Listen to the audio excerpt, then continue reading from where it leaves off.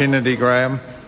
Thank you, Mr. Speaker. The Green Party supports the reappointment of uh, Beverley Ann Wakem as the Chief Ombudsman. Having a strong independent watchdog is vital for ensuring that our democracy functions appropriately.